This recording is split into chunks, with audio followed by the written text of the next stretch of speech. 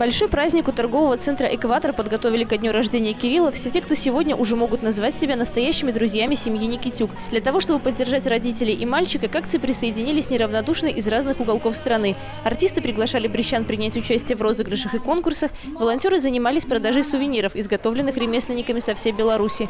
Вырученные средства стали очередным вкладом горожан в большое и очень важное дело. Есть такой закон негласный, кто помогает другим, тот помогает в первую очередь себе.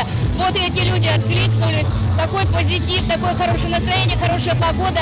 Сегодня еще согласилась э, поучаствовать с нами школа-студия My Baby.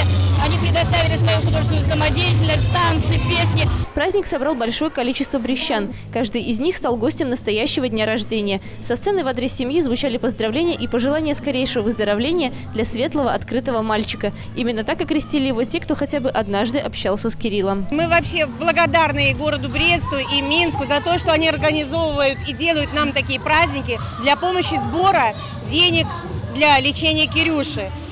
Нам разрешает город все. Мы делаем и концерты, у нас ярмарки, у нас лотереи. У нас вот даже то, что люди присылают из Витебска, из Минска свои поделки, народное творчество, и нам разрешают вот это продавать. Они нам предоставляют это все бесплатно и для того, чтобы все это было в помощь Кириллу. У благотворительности есть одно удивительное свойство. Помогая другим, каждый из нас помогает и себе. Через открытость души, не безразличие к чужому горю, мы порой открываем в себе новые таланты и способности, о которых раньше и вовсе не могли знать. И пусть этот вклад будет небольшим, однако и море собирается из капель.